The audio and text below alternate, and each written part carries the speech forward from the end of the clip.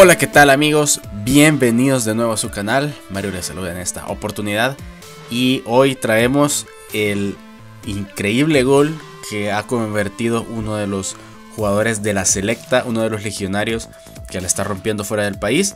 Es un material, digamos, que nos ilusiona y que nos interesa mucho de cara a la próxima fecha FIFA, porque ya dentro de un mes tendríamos que estar conociendo o teniendo una idea de quiénes van a ser los jugadores que David Doniga va a convocar para los amistosos ante Honduras en primera instancia y posiblemente ante una selección de Centroamérica. Se habla todavía de Nicaragua, se habla incluso en su momento se dijo Bolivia o Ecuador. Hay un video al respecto, ¿no? Que yo les voy a recomendar en la descripción de este video.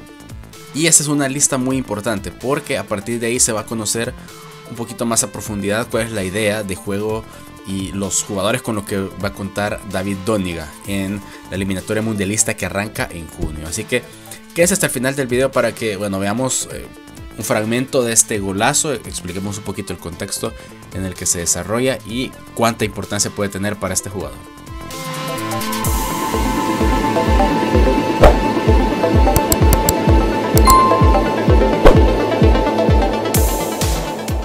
Bueno, son buenas noticias para Brian Gil Hurtado, quien ha marcado con el Deportes Tolima la jornada de este jueves en el fútbol colombiano. Vean nada más la definición, pero sobre todo la carrera. Yo, creo que este tipo de jugadas son eh, importantes, ¿no? Porque siempre a El Salvador le ha faltado un jugador que pueda correr las pelotas, que sepa efectuar las transiciones. Creo que nos hace falta un poquito probar estas variantes. A veces le pedimos a Brian que aguante las pelotas o que él las genere todas. Y la verdad estamos viendo que tiene una cabalgada impresionante y una definición eh, increíble. Yo creo que más jugadas así deberíamos intentar, buscar el espacio. A veces cuando nos encontramos encerrados por los rivales, lo más fácil es hacer este tipo de acciones. Pero bueno, lo dejo todo en criterio del entrenador y por supuesto que en la opinión de ustedes, amigos que están viendo este video, opinen qué les parece este tanto, eh, qué significa para Brian esta jugada Ahorita vamos a repasar algunos de los números que ha tenido este importante futbolista. Ha participado en seis encuentros desde que arrancó el campeonato de primera división en Colombia. En cinco lo hizo como titular y solo en uno de ellos entró desde el banquillo para tratar de cambiar las cosas. Y la buena noticia es que desde el 27 de enero hasta este pasado jueves, Brian ya lleva tres goles en su cuenta personal con el Deportes Tolima.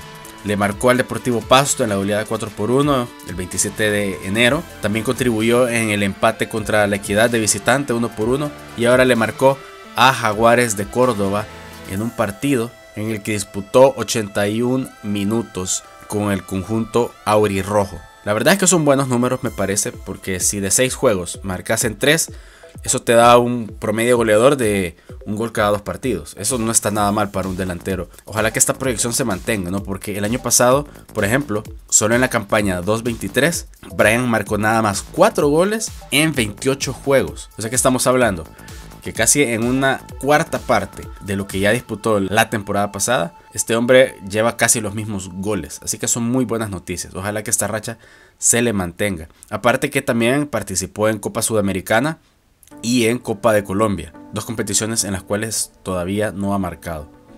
Y bien amigos, cuéntenme, ¿qué les parece eh, estos números ¿no? de Brian Hill? Recordemos que él va a ser uno de los jugadores que tenga en cuenta David Doniga, yo creo que él lo tiene muy en cuenta. Aparte de que también Jairo Enríquez va a ser una de las adiciones que va a tener el equipo, porque según lo que apuntó el gráfico en, los últimos días, el jugador podría haber superado su situación migratoria que no le dejaba salir del país. En todo caso, el partido se juega en Estados Unidos, así que no va a tener ningún problema. El amistoso no con Honduras va a ser en Los Ángeles. Y parece que el otro encuentro se va a jugar en Washington. El rival está por definir, pero se hablaba de Nicaragua. Entonces imagínense, si vamos a tener a Brian Hill, vamos a tener a Jairo Enríquez. Y por ahí se habla de que habría una sorpresa con el caso de Alex Roldán y Eric Zabaleta, como dijo en su momento el periodista Marcelo Betancourt en el gráfico. Yo creo que estaríamos recuperando a la mejor selecta posible. Pero estas son de momento nada más especulaciones. Yo quiero que ustedes me digan su opinión en la caja de comentarios. Y no olviden suscribirse al canal y dejar su like y compartir a sus amigos si les ha gustado este video. Nos encontramos en la próxima. Chao.